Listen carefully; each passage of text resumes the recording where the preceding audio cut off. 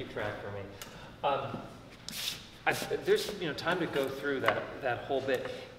One thing I'm noticing, just sort of a general technical sort of thing, as the bow extends out, I'd say about at this point, there's a little bit of drawing out at this angle, so you're losing a certain kind of clarity of contact sometimes, and it's just it's just a habit you want to uh, nip in the bud. You know, if you just think particularly uh, after about this range of the bow of um,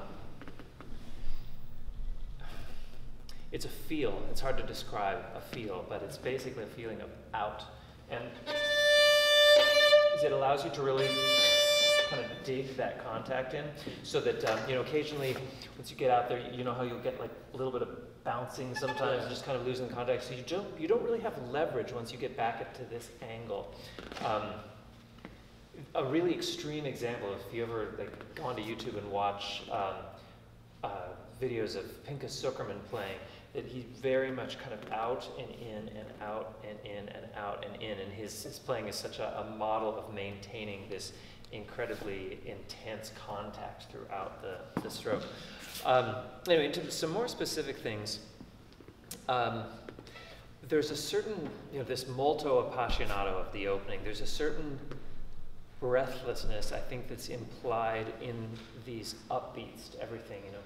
Dum, da, da, da, da, dee, da, da, da, da, da, da, da. And uh, the bowing that you did, which many, many, many people do, of pu- putting that E onto the same down bow, um, it's a bowing of convenience, um, but you don't want to lose the effect of you know, I always think of phrasing as being very conversational, right? And so this is one of those examples of, you know, if you're, you're telling a story and it's, it's a story that you're quite excited about, you, there are tendencies where uh, we will interrupt ourselves as we're telling the story. I mean, this thing happened, and then I mean, and then it was like, and this, you know, you get all kind of tied up over yourself, and you know, each one of those interjections adds a little bit of impulse into the figure, which I think it keeps it from sitting too much. You know, so it's not necessarily an issue of you know you don't have to play it faster, but if there's this feeling of turbulence underneath, I think that will help. Um, why don't you just play a little bit from the beginning, and I'll, I'll stop you. If you if we get as far as A right now, which we likely won't. Sounds great. That's great. Just like that. Um, if we get as far as A, the the accents there, I think, are quite important to be quite sharp with it. Otherwise, what happens is we hear the accents on the bow changes, so then we get misplaced. You know. And then we get to there, and it's like, wait, where are we? You know what I mean? There's a certain sort of squareness to this, this part. All right, I wanted to take from the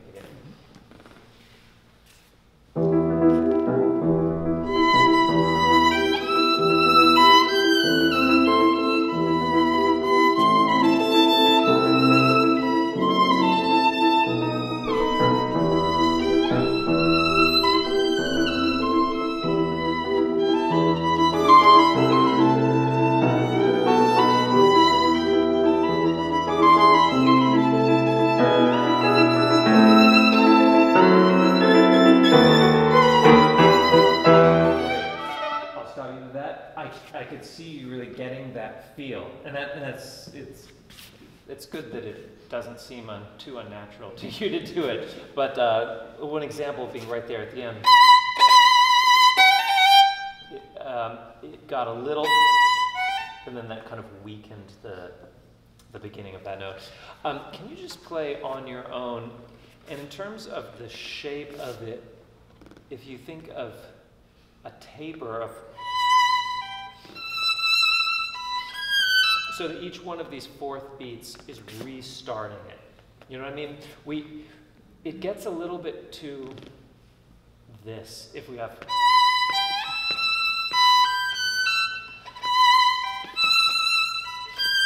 It would be a very exaggerated take. So basically, phrase away from the G and away from the B. Can you just do that on your own?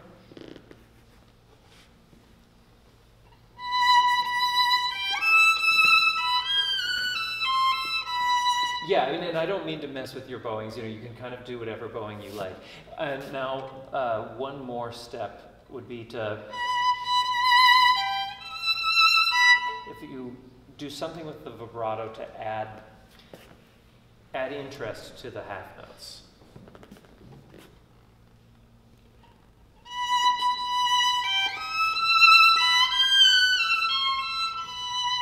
You know, I just said I won't mess with your bone. I'm gonna mess with your bone because I think that I think that it will give a better clarity to that note. And I think that what's important now is that we develop the the shape and the concept. And then if you decide to go back to the old hooked bowing, that's fine. But I would definitely, even if you do take it all on a down, I wouldn't slur through it. I would re-articulate. Um, that was great. Can you just go on from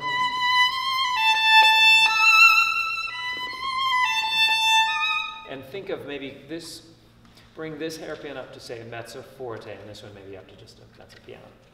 And just take it right from there. Okay, so there's a little effect there. I'm going to exaggerate. This is not quite what you did. That the note didn't really start. The hairpin crests on that note, you know, and that's that's one of the great challenges of playing any bowed instrument is actually we're all we're also afraid of actually starting the notes. you know, you hear so much of and people, um, I've had people, you know, they're like, well, you know, it's kind of the nature of it. It's like, no, it's not. It's not. It's laziness. Don't do it. So, um, could you take one more time and really think of, really visualize that shape of cresting over that bar line? Yes.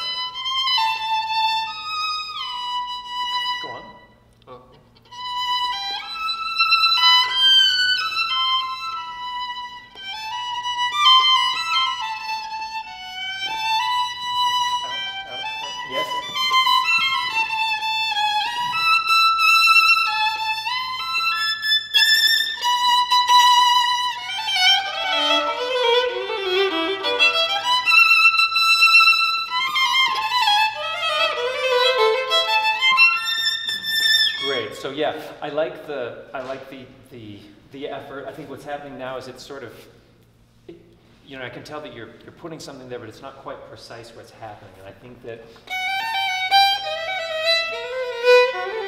I would slow it down in your practice to just really coordinate the landing, so to speak. You know, um, and that and that'll take some time. That's not something I expect you to do right away. Can I, can I see your bow for just a quick second?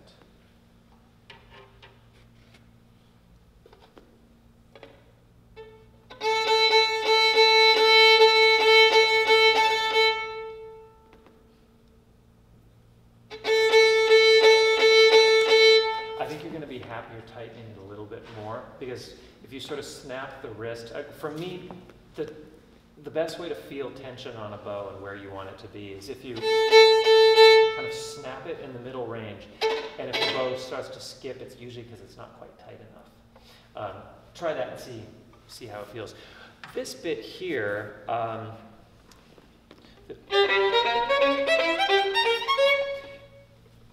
it's the second bar of it was very, very good and well coordinated. The, uh, the first bar and a bit of those broken octaves, the challenge for every violinist in that is coordinating it so that your hands move at the same time, so to speak. So basically what happens is it, the, the, the string crossing is where they get lazy and you start to move at the wrong time. So I would, can you just play for me? Just like that with the breaks and the string crossings.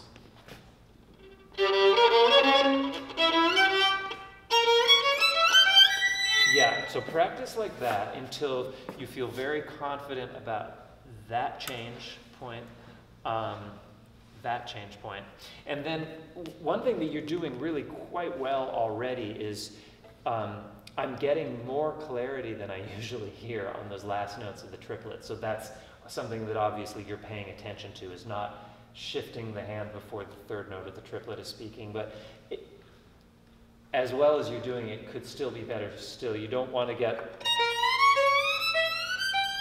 you know, the, the sort of smear effect at the end of those. So think of, um, I think that a lot about this in my own practicing of, of creating landmarks um, that are. Uh,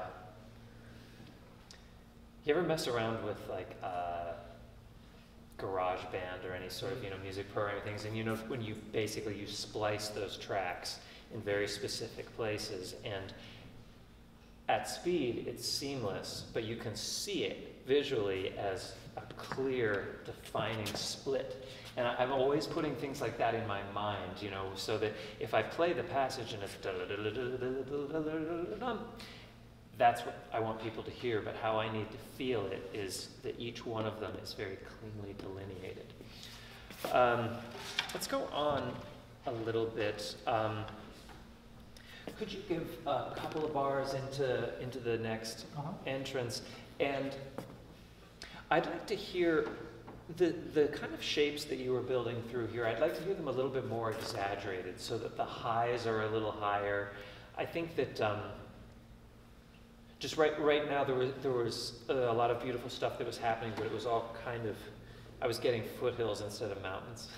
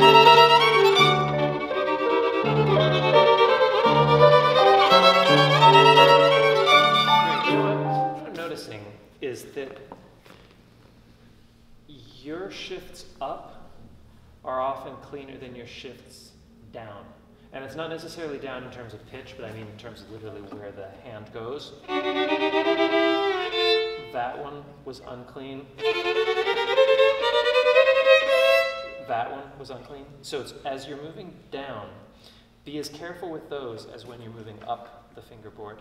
Um, these things.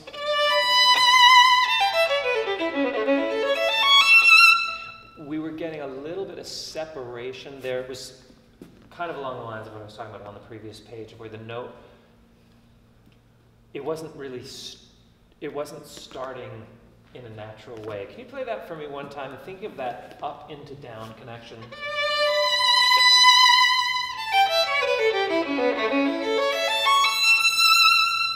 That, you don't want to. You don't have that. Can you take on your arms from there?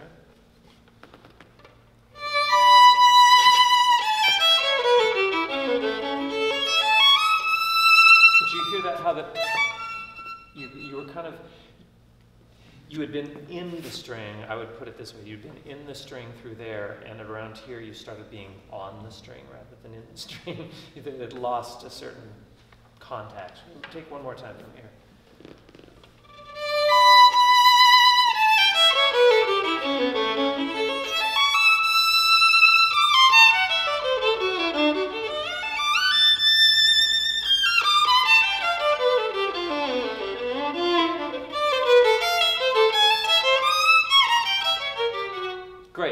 Was much better. Um, that I was kind of hearing, I was hearing a bit, I was hearing quite a bit of juice in there, and then on the way up as well. Um, I might suggest actually, I think that's a bit of an old fashioned style of playing that. Um, if you went down into first position on that first F, then you end up going, you can use the shift up into position here as a way of preparing the color change, and it keeps you from having a downward slide followed by an upward slide almost immediately. So, you know, this is such clean passage work. You have this cleanness, and then you have the kind of slurpiness at the bottom of it. I don't know if I love that. Um, Two minutes. Two minutes, okay. Talk really fast like an auctioneer. Um, this here.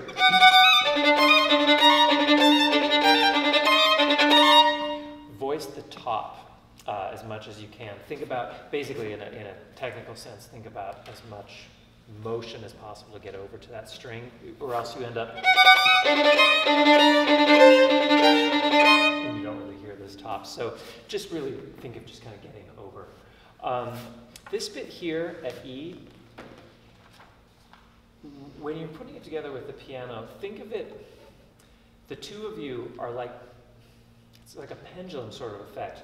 The piano has these forte pianos or sforzandi or something on the downbeats, right? Forte pianos, yeah. So they have ba, and then you have.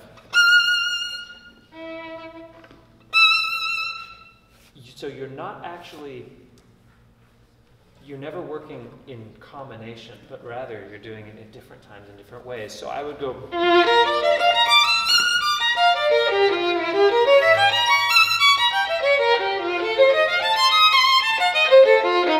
A bit of an exaggerated effect, but when you have that with the piano or with an orchestra, it's really quite a great effect of this almost like a seesaw, the heaviness of the orchestra countered by the heaviness of the violin, so that it, doesn't become vertical.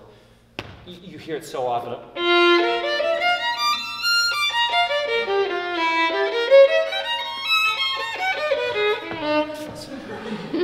so, um, yeah, that's what we don't want.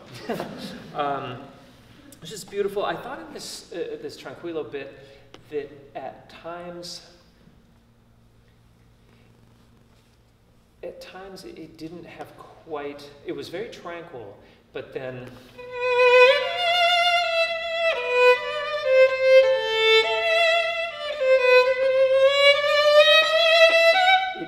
Think there needs to be a little bit more drama that's brought into it, or else it's, it starts maybe being a little bit too tranquil for too long. um, here, this transition.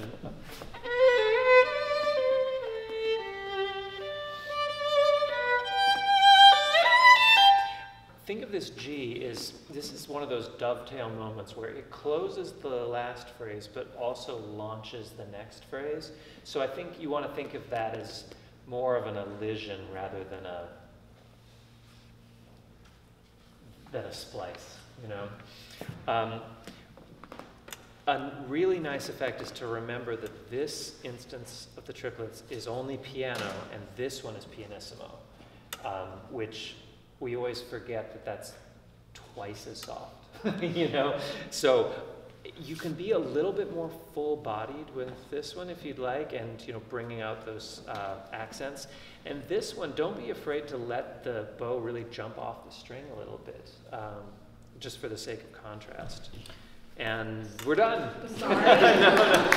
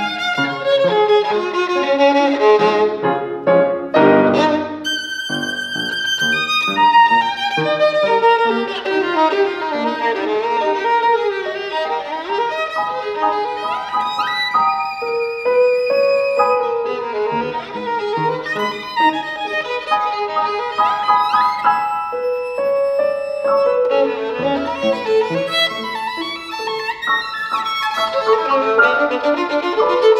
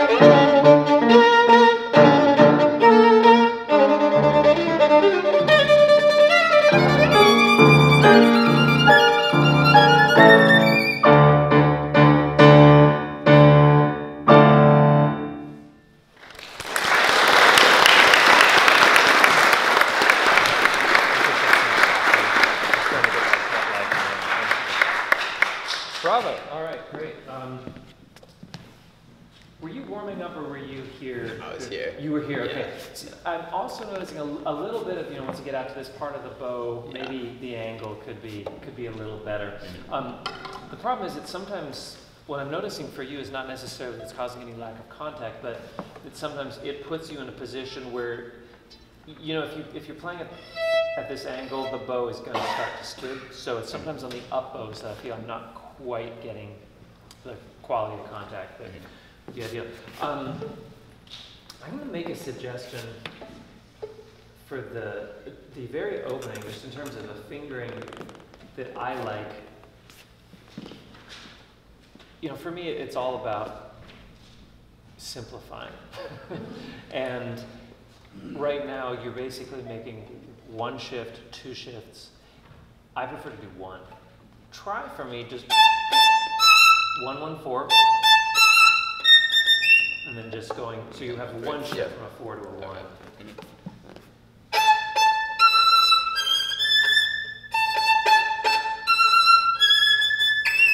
Yeah, I mean, finding that note will take a little getting used to, yeah. but then you've only got one note to find yeah. instead of two. Um, this, uh,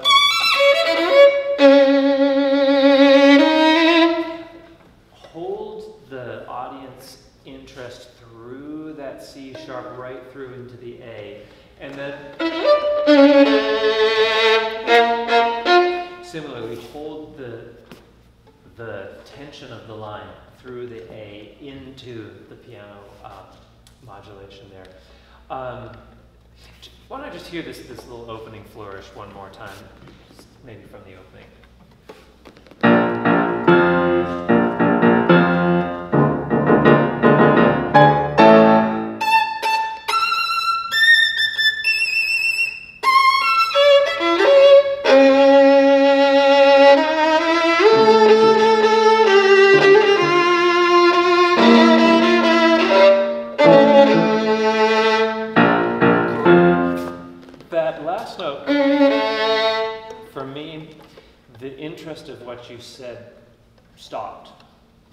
I don't know quite else how to say it. Can you, uh, actually, have you do something else first. Can you turn this into a single thought? Right now, it sort of was like, I got to the top, great, and now what do I do? you know, just a little bit. Um, so think of that as, that as one thought, and then think of this. The modulation here needs to be a result of something that you cause. If that makes sense. Iced tea will work. I was in China yesterday, so I'm kind of upside down today. Maybe one more time would be piano, great. yeah.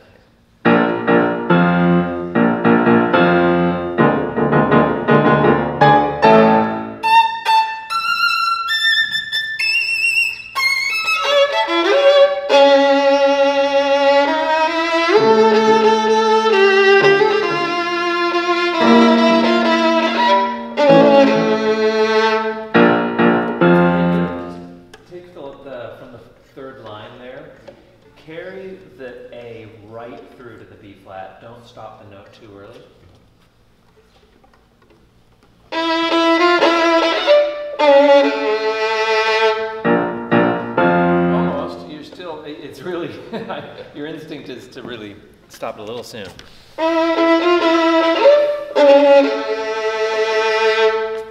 Well, yeah, yeah, that's the point being, I think that that's good. I mean, it, it makes people. You know, it, it's funny. I, I've thought about what is it that uh, people like to listen to, and like any any good story, people want a narrative that draws them through. Um, and uh, I think that's a good way of doing that. uh, from this bit, make sure that, uh, uh, well, you, you're going to hear me repeating myself a lot. I've got like five things, I just say them over and over and over. Uh, but this, in terms of uh, blocking in your mind that, so that those first four notes are really clean. If you get those first four notes clean, a lot of things fall into place after that. It's one of those things that, you, you know, it's sort of like, to use a football term, this whole passage here is kind of like icing the kicker. You know, it's like, I'm ready to go, I'm ready to go, but you have to wait, you have to wait, you have to wait, and then all of a sudden, you have to do it. And I think that often we get ahead of ourselves right over that first shift from the E flat to the G. Mhm. Can you just play that once for me, and just thinking of ultimate clarity on the first four?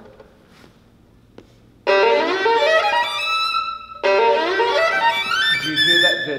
That you're you're moving. I'm hearing that shift before the fourth note has actually sounded. Just play once for me.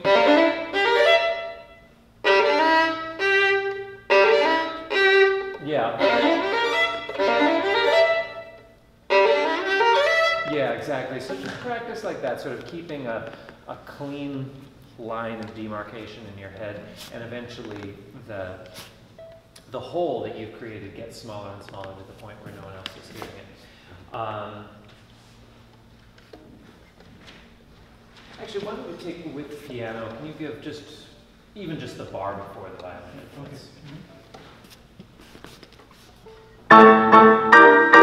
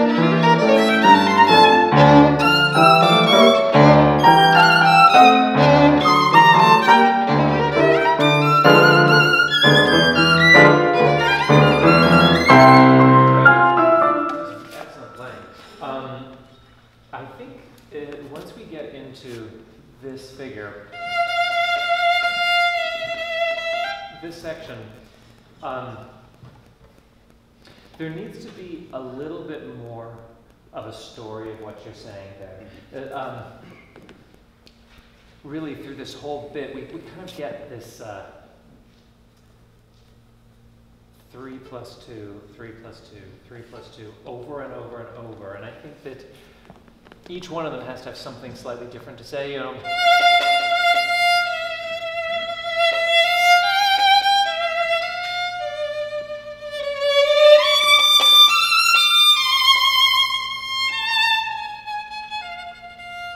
you can really exaggerate it so that it doesn't become like I think that this this piece can either be feel like there's very little in between with this piece. It's either just like the greatest piece ever, or it's just kind of annoying. And and I, I think it's because really the material, the material itself, it's really you, it needs to you need to make something of it. Um, and, and what you're doing, I don't mean to say you're not, but I think that you need to exaggerate your impulses. Can you take just the pickup into that and make a story, make us think each time we hear that pattern, well, what's the next one going to be? And we'll, in, you know what I mean? So that you're not setting up something that's going to be repetitive, you're instead using it as a way to create an interest for what's going to come next. Mm-hmm.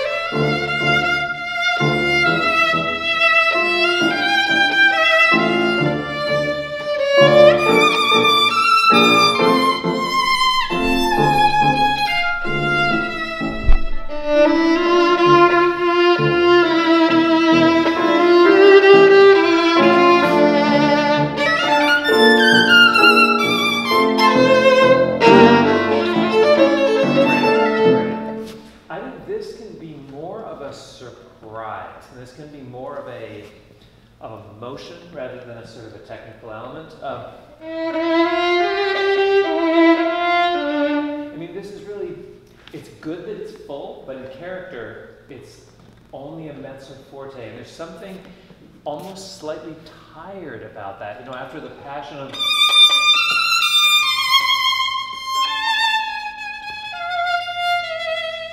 you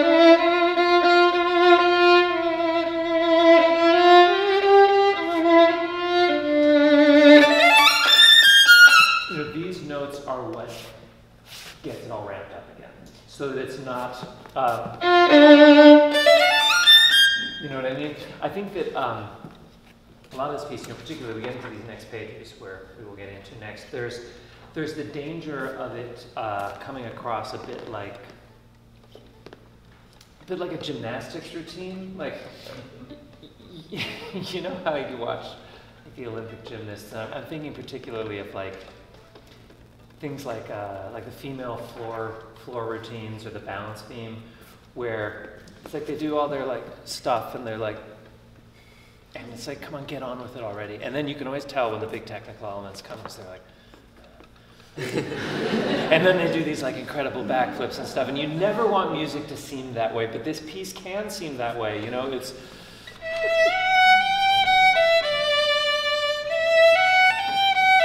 all everyone wants is all that kind of business. So it needs to be more organic. Um, uh, can you go from from the letter E? And this was excellent, excellent playing. I just want to go over a couple a couple of little things. Actually, why don't you with the piano two before E?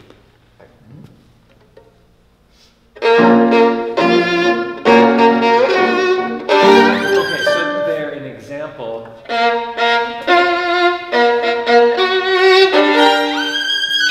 that F sharp needs, the G minor chord has to be a result of what you do on the F sharp, so that leading tone really goes into it.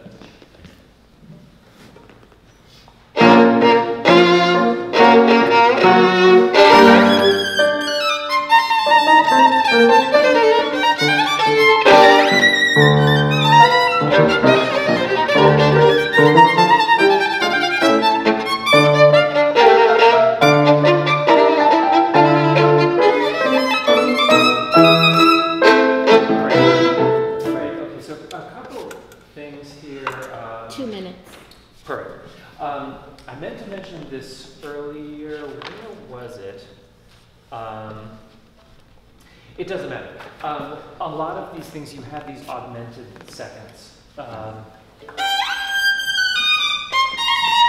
um, those need to always be slightly exaggerated. You know, in a case like that, make sure the three is really high and the two is really low. Otherwise, you, it, if they're not almost stretched past the point, um, then it just sounds a little bit like some sort of weird Middle Eastern scale, you know, where it's like, where are those notes? Um,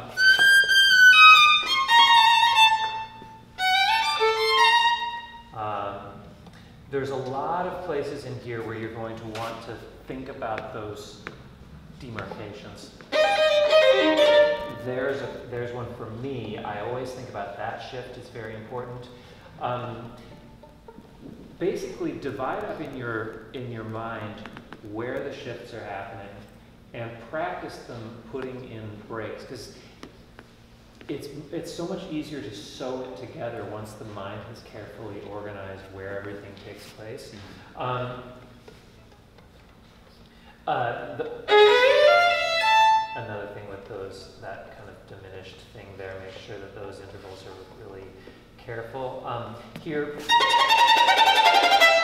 I would be quite spiky and off the string with that stuff because it's just texturally such a nice uh, breakup of the variety of so much of the, of the slurs. Um, again, the, you know, careful with all these intervals just to make sure they're really, really locked in.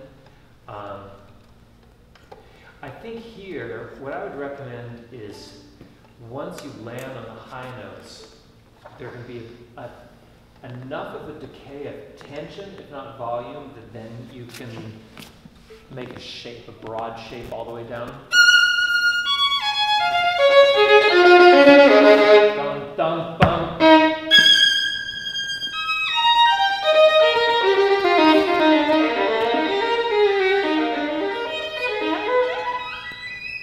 So this whole thing can be, frankly, I think there's too many bows. I think that this is one of those things that's a little more effective if you bow it one to a bar, because you really want it to feel like, you know, there's a certain sort of beatiness of.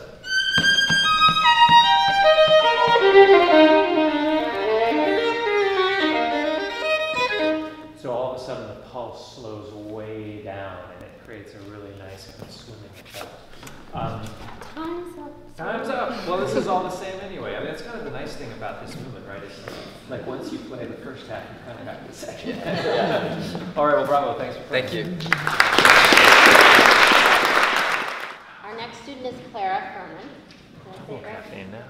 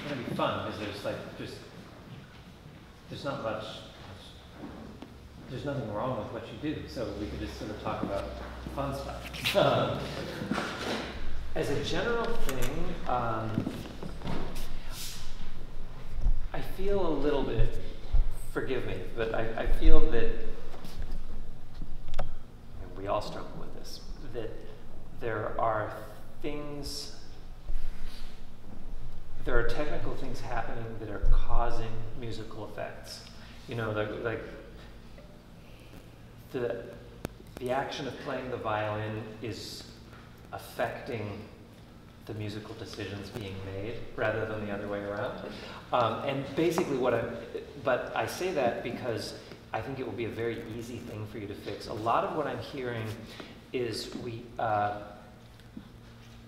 there's quite a bit of localized stuff happening because things tend to blossom for you in the middle of the bow.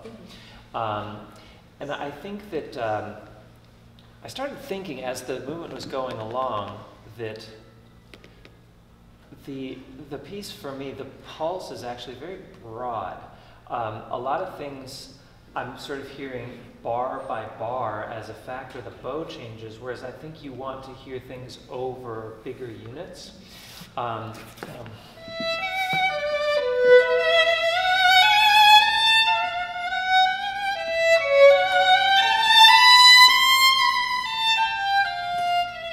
you know, that if we hear,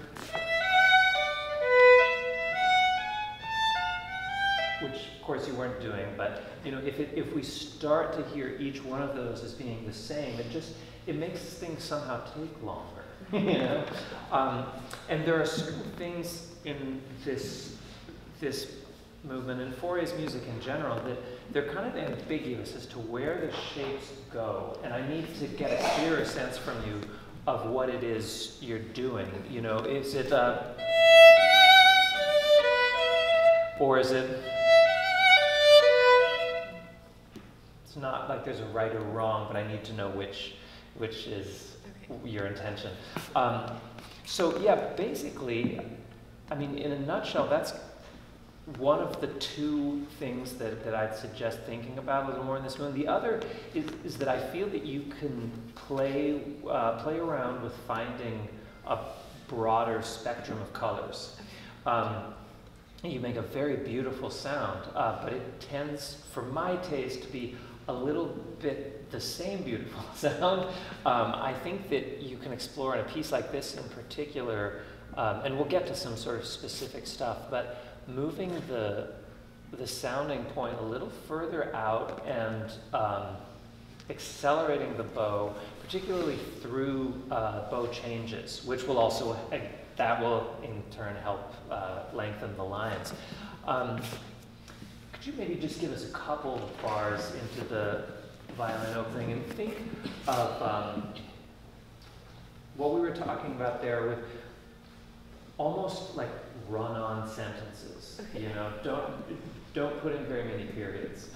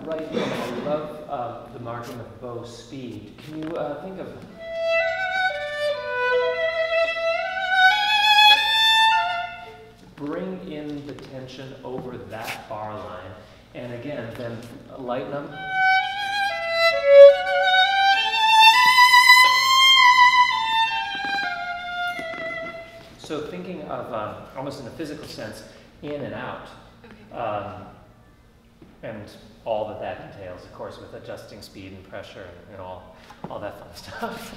you can take one more time.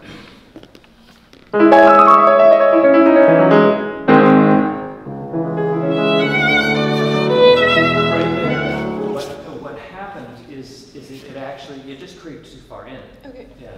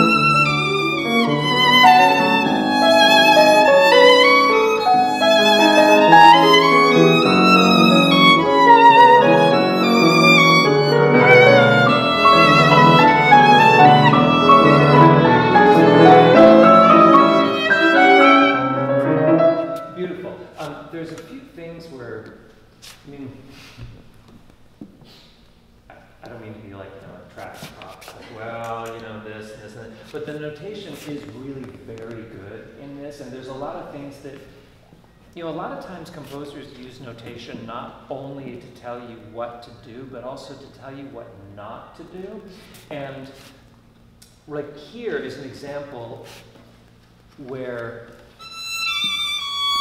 it, it crests over the bar line. It, and that, in a way, is not just telling you what to do, but it's telling you not to, which is a little bit what happened. Um, anyway, that's a, a slight thing. I still, can I just work with you just on your own? Can you play? Try to put a lot of air into that sound.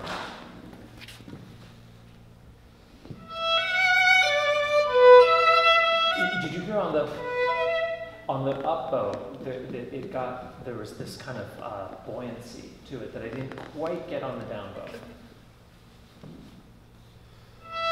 Yes. Yeah, and then it, that was that was exactly it. Uh, and then add a little bit of um, just kind of bring the sound in.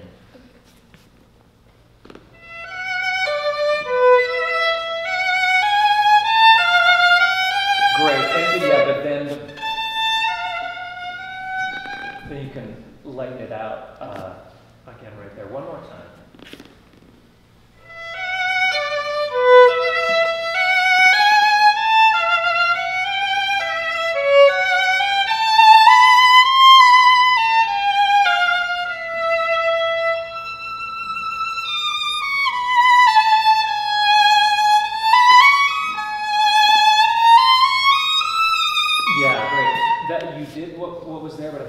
Think you can exaggerate it more so that they're very different of the the audience is going to expect you to, but if the you're multiplying what you've done there, right? Um, that's nice. I think that. Um,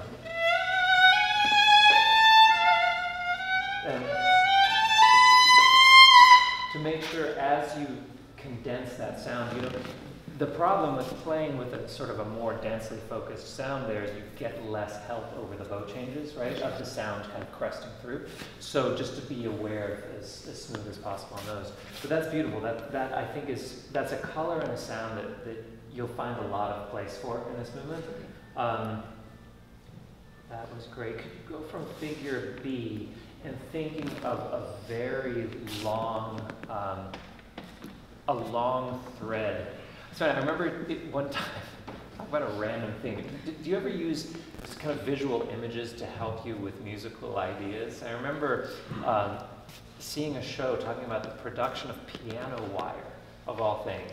And as it comes out of this machine, it has to be very carefully, they probably have more high-tech ways of doing it, but it has to be very carefully pulled to make sure that if it's jerked at all, it nicks the string and the string becomes useless. And I think of that with these long phrases. You have to be very controlled to make sure that you don't lose, somehow lose the focus, because then it kind of, the whole thing crumbles at that point. Um, Five minutes. five minutes, great. Can you just, um, actually, right on figure B is perfect.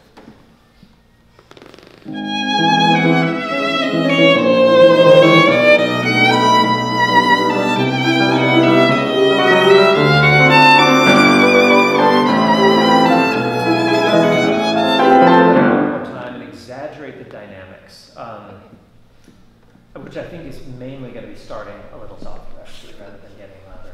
Excuse me for blocking people's view.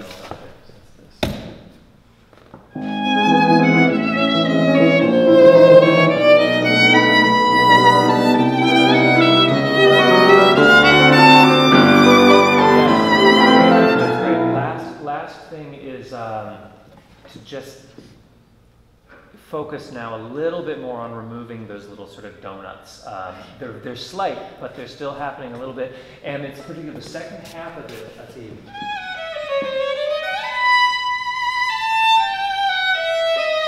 The, the leading notes over the bar lines to make sure that there's enough of that, that thread pulling through.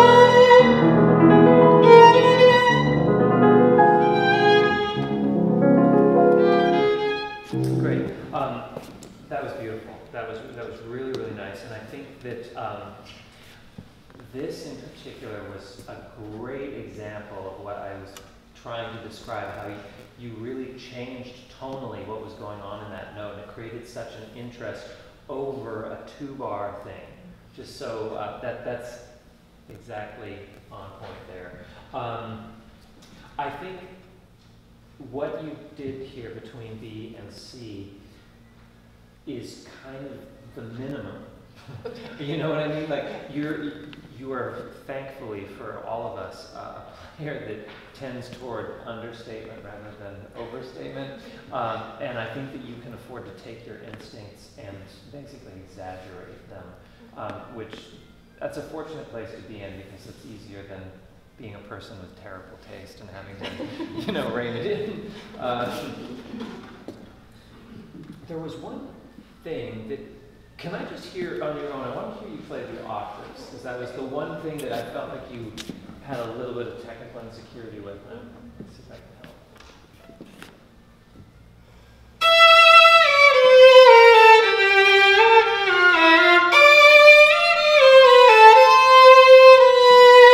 Yeah, um, you know, I think that basically the half steps when you're descending, Yeah. The upper note of the half step interval, you just have to go far further. You know what I mean? It's um, like the B flat, the F, things like that. I think that uh, you know you can think of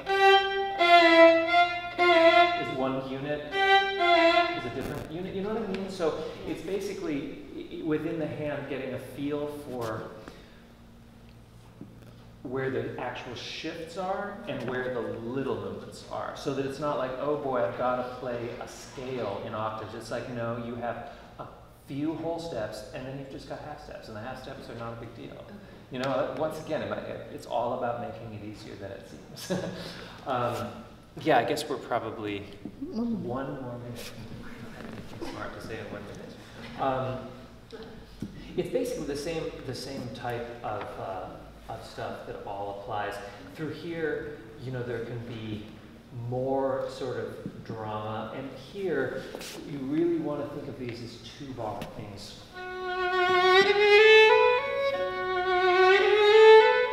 And then four bars. So that it, this part to me can sag because it can sound like dum da da da da. And it so really really draw the listener to two plus two plus four. Um, you know, then you end up with three things instead of eight.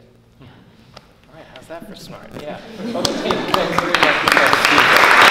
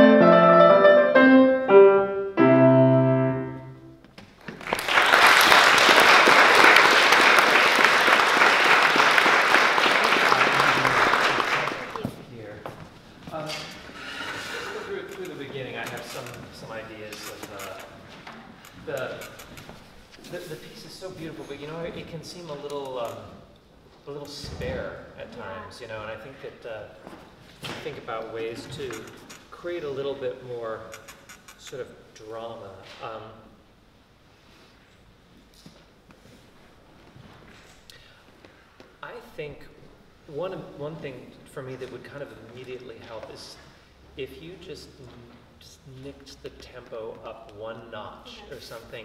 Um, the fact that it's in two four, you know, the, you'd never want it to sort of feel da da da dum, you know, the dum bum da dum Yeah. ba dee da da da. That there's just a little bit more buoyancy in larger beats. I think that that will help. Um, and particularly when it gets into the more lyrical stuff, the, the, that it allows them to speak a little more freely and not get quite as stuck in the eighth notes. Sure, yeah. Um, you just take from the beginning, just you know, really very slight, but the the thought of, of that shift into a true two being important. Or which can. You want me Yeah, right there is fine.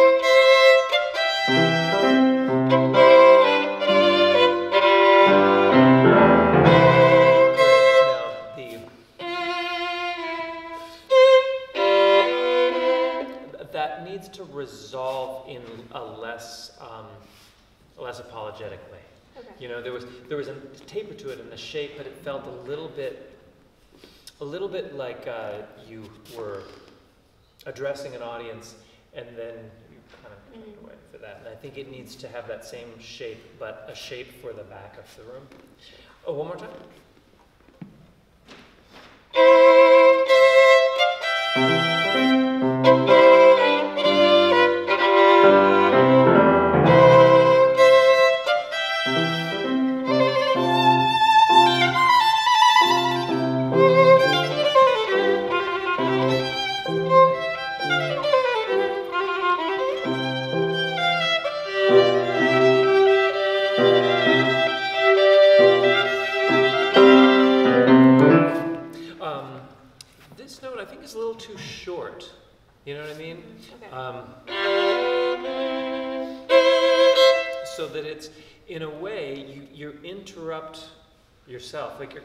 closing the phrase, but then you're right back there.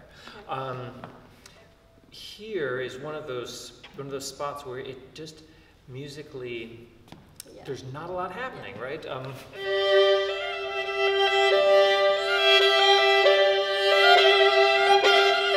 maybe you build through the whole thing. Maybe you do a bigger and then an echo and then something else. There needs to be some kind of added drama to Yeah. it. I mean, one of my favorite things about Haydn. Um, you ever play any any Haydn quartets? Not a lot, the bird, like a long time Uh-huh. ago. So I, think, I think there's 67 lot, quartets, 68 quartets, something like that. And I've realized over years of playing them that Haydn gives you frustratingly little information. Where it, there's just, you play it through, and the first instinct for me is always, yeah, nice. And then you play it through again, and it's like, yeah, that's really nice. And then you play it through again, you're like, well, that's the best piece I've ever heard. um, but there's so little information, which can be frustrating, but can also be such an opportunity for creativity. You know, it's never micromanaged, and it becomes the challenge to the player of how how creative can you be? How compelling can you be with the with the story? Um, let's go on.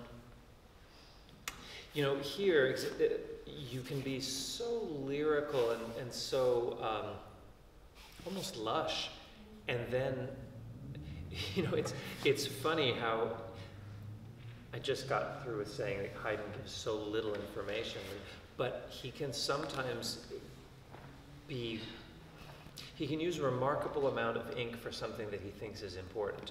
And think of that. Mhm. Tick, tick, tick, tick, tick, tick, tick, tick, tick. Like, he left this, to, there is no ambiguity to what he wants there. And I think that's important, you know, that you have the lyricism of these bars followed by the virtuosity of this kind of uh, outburst in the next bar.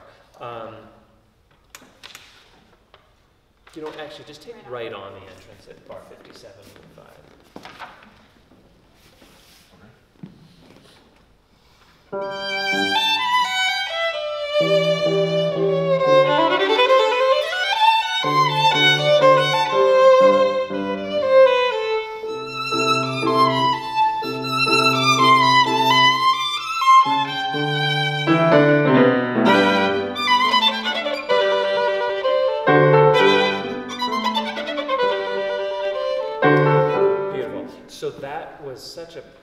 such a great thing you did there with the contrast. I mean, it even you know I I was right here and I was like, oh, that's cool. You know, like, that, that- that's great. Um, but I think that this here, the way you, I couldn't tell what you were saying. You know what I mean? Like you, you got you got caught in between on that one a little bit. Yes. Um, and I think that, uh, well, yeah, you know, that, that needs to be a little bit clearer in the attention. Strings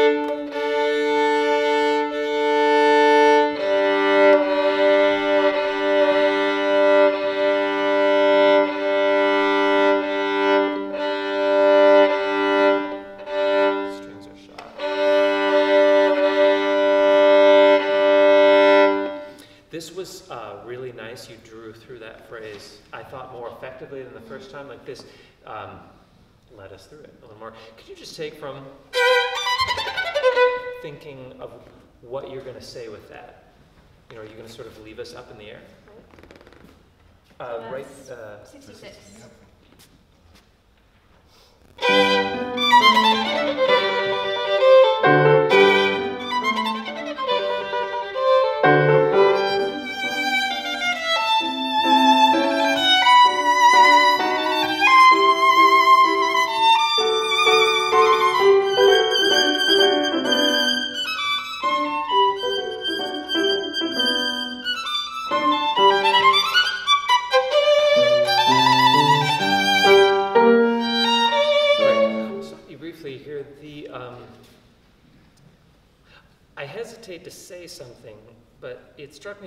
Times. The shape, I feel comes more from the downbeat, to be honest. That, um,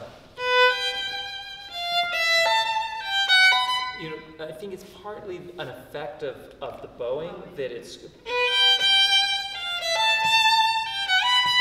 it's putting a false downbeat in the middle of the bar, and I think that obscures the bum, bum, bum, bum, bum, bum that's happening in the piano. So even if you take that on up bow, can you think of the, the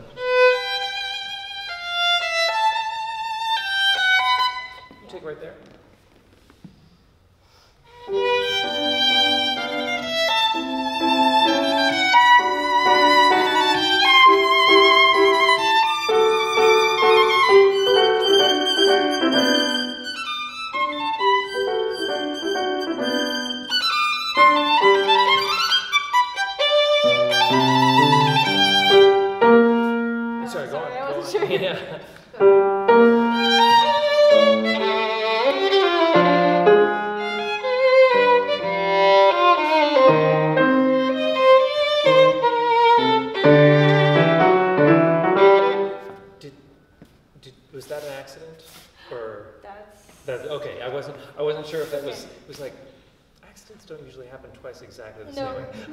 Yeah, just watch that one. Yeah. Um, let's see.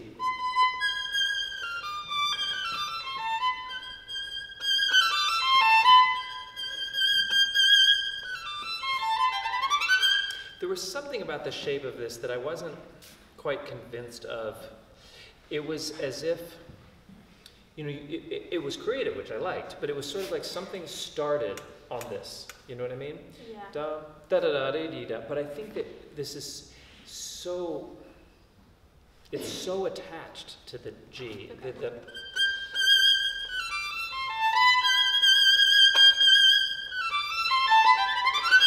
I think that this is this kind of connective tissue that doesn't necessarily start anything new. Yeah. Um, anyway, something to think about with that. This here, um, there's different ways of looking at that, but in essence, what you're doing is you're turning that into four and then playing this as three, Yeah. which it's one of those things like again he's so non-specific so often that when he's kind of specific like this i'm not sure that's the solution he's looking for it would have been so easy on the other hand it's possible that he's just looking at, at that as a sort of an equalized appoggiatura but then in which case doesn't make a lot of sense to do that when it's so markedly different you could take that as a true grace note if you wanted to. if you take it out that way, at least we're still getting the consistency and the symmetry of two triplets. Yeah. Um, let's see. You know, why, don't- why don't you just take from there and yeah, drama. That's good. Sorry. Major number? Uh, pick up to 82. Okay.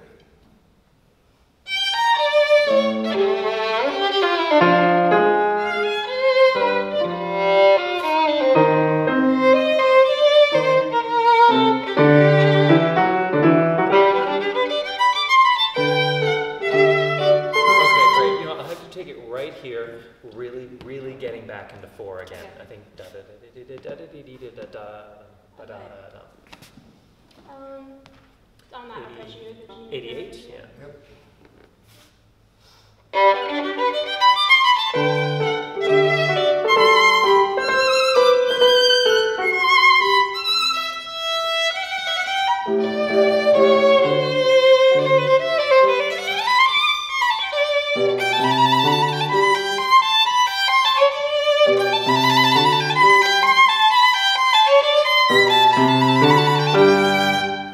So this is, um, it's very weird when you think about it. Like Yeah. any other composer would have done it twice, and it, you know he added these extra two bars, Mhm. which I think are kind of, kind of fun. You know, it's like, um, we get used to certain symmetries in classical formed music, and I think that. Uh, the fact that he's kind of breaking out of that model, you need to do something like even more compelling.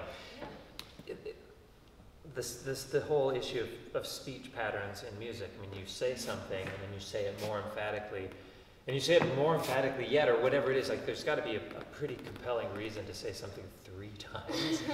um, this next bit is kind of the same. Uh, well, actually, no. You know, um, could you uh, could you take that little 2D in the middle of our 135? Five. Ba-dum, ba-dum, ba-dum. Gotcha. Okay. It's a little boring.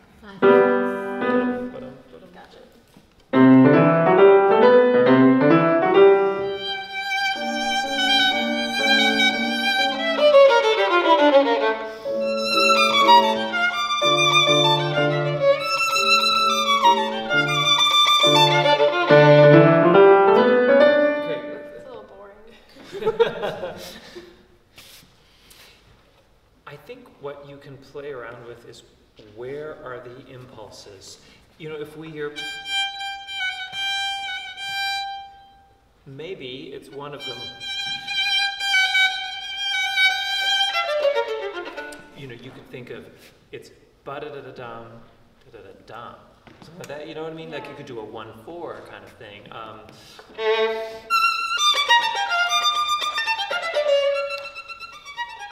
you know, wh- there needs to be a little bit more creativity in there because, yeah, as you say, it's sort of like, is there enough going on here to sustain? Um, could you take that one more time? And you, you know, like thinking of no,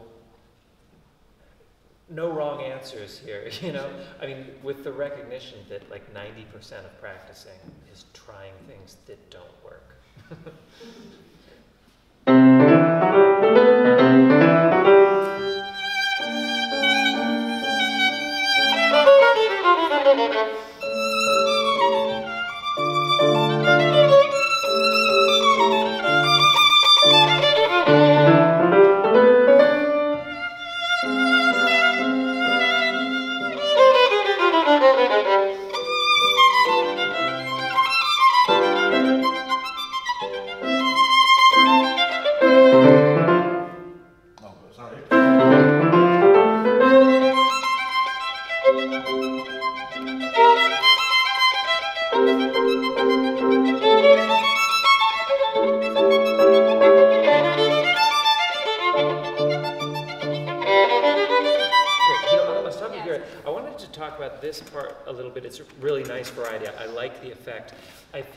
Like there can be slightly more enunciation to the short notes. Um, you know what I mean? Like there, there are some that are speaking more clearly, and there are others that you know are a little bit fuzzier. Sometimes it's having, I think it's having to do with bow uh, crossings, Yeah. uh, string crossings. Um, can you just play that on your own and thinking of being very articulate on all of the separate notes? Two minutes.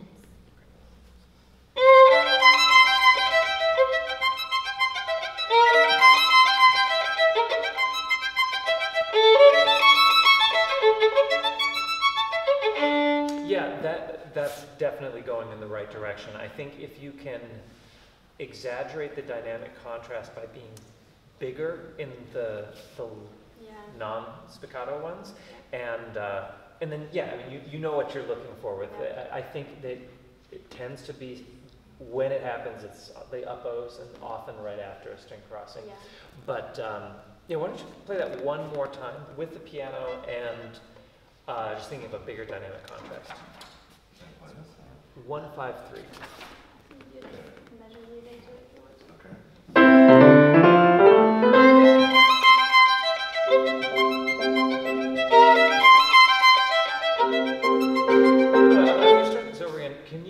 surprise me more with the change? Um, um, it's fine to, to shape the bar like that, but I still want to be like, oh, when you when you make the articulation change, like an effect of two different players. And what you can think of is um, almost the perspective of, uh, of whether it's antiphonal or whether it's depth, very separate instruments. Like something that I often try to do, I don't know that it actually comes across this way, but it, it helps to, to think of it, is in passages like this, I think of being closer and further away, rather than being louder and softer, because louder and softer, when you think of it that way, it exists within the same world, but if you actually think of perspective, of depth, that can sometimes help separate the, um, the intention. Yeah. Well, you want to take that one bar lead in one again?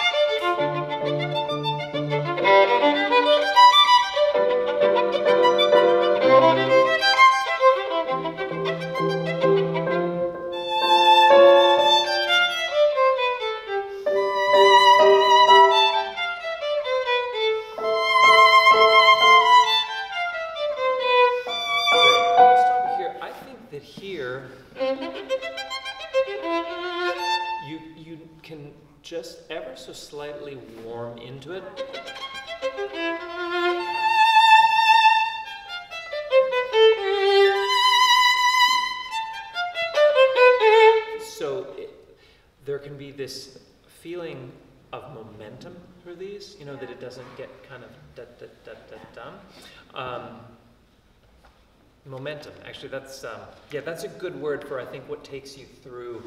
And momentum does not necessarily imply speed at all, but that there's a reason to not get sort of settled bar by bar, or worse, of course, beat by beat. But um, anyway, I think we're out of time. But uh, beautiful playing, and thank you very much.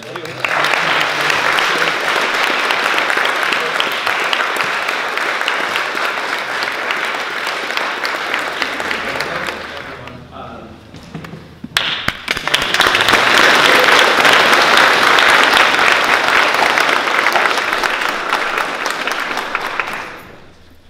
We've done these sorts of events over the 20 years we've known each other, and they're always great fun for me. I mean, this is basically uh, an adult version of going to the toy store. Uh, we have uh, fewer instruments than at the height of David's collection, but we have some real jewels here. And when we do these types of things, it's always interesting to get other people's perspectives because to some people, any violin sounds like any other violin. But to others, the differences can be really notable. And I want you to all think about that. Well, what I'm going to do first is I'm going to play an excerpt from the Scottish Fantasy by Max Bruch.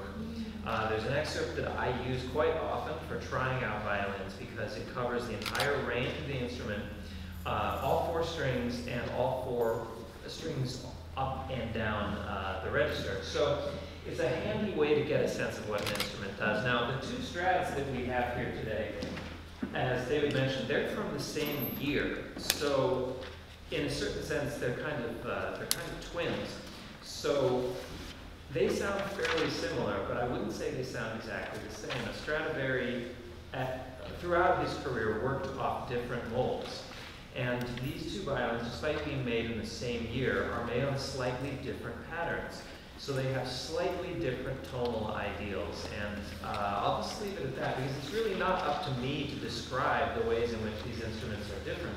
It's up to all of you to decide the ways that you feel that they're different, and you, I'm sure, all form your preferences, and I hope that you'll have uh, interesting discussions and heated arguments afterwards about which uh, is your favorite. Uh, before I start that, I'll also mention that, as you can see, we've got a bunch of different bows up here, and we're going to have a little bit of fun with that a little bit later. But for now, I'll just uh, point out that I have chosen a different bow for each of the three different violins because I feel that each one of them has a special match with that particular bow. But I will say that all three bows were made by Francois Xavier Tourt, who is often thought of as the Stradivari of the bow. So not exactly slumming it up here. I, was, I will start with the Peter Guarneri.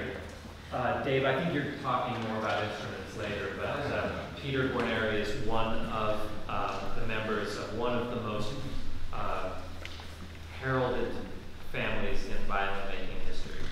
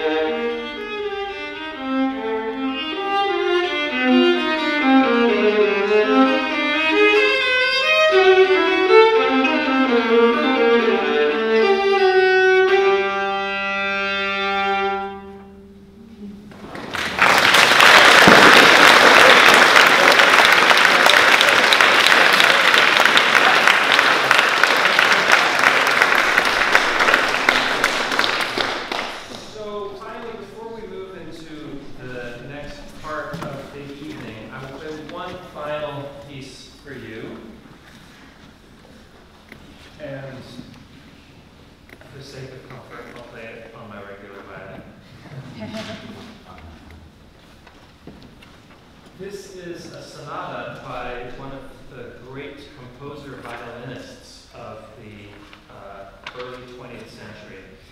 Uh, this was written by a man named Eugène Ysaÿe, um, who was one of the great violinists of the day. Uh, he was a composer, he was a conductor, he was an early music director of the Cincinnati Symphony Orchestra, in fact.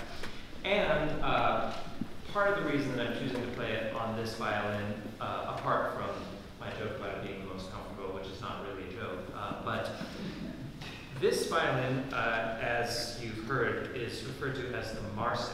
Now, uh, Marsik was a Belgian violinist who uh, was a well-known player of the day, but is perhaps remembered best as a very important teacher within the lineage of the Franco-Belgian school. If any of you have ever played any of uh, things out of the Flesch school book, uh, the scales, all that sort of stuff, well, Carl Flesch was a student of Marsik.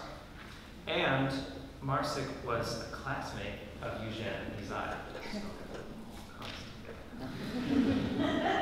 This is his sonata number three.